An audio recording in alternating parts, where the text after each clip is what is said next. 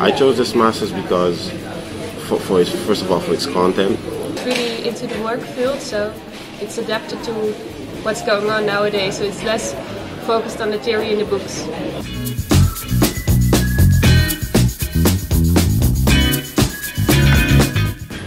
When I'm finished with this master's, it puts me in a position to use my expertise concerning branding. It's a practical approach that uh, NHL Stenden has. It's just very interesting and I think um, very needed and happening.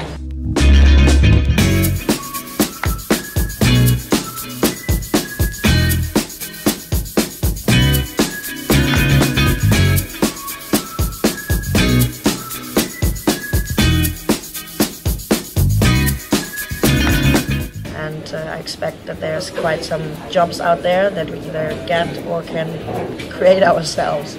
It's, it's also hands-on, so it gives me uh, a sense of I'm in a I'm in a better position when it comes to the marketplace.